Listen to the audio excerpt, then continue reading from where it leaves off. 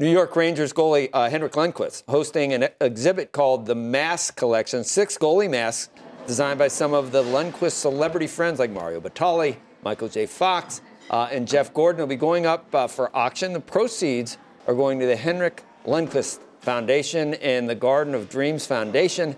Uh, there is also a Lundqvist crystal hockey mask with 17,000 Swarovski crystals, and that is expected to fetch uh, more than $100,000.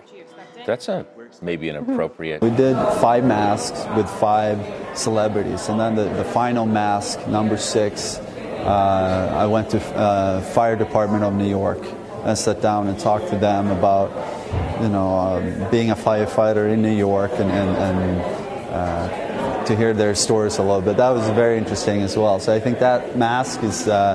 Uh, it's going to mean a lot to a lot of people, I hope. It definitely means a lot to me, and, and I'm excited to show them.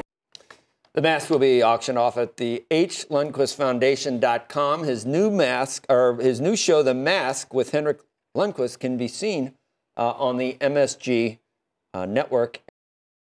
Hey YouTube fans, I'm Landon Dowdy from CNBC. Thank you so much for checking out our channel. You can subscribe by clicking right here to check out the latest Mad Money CEO interviews, market news, financial advice, and product unboxing. Enjoy!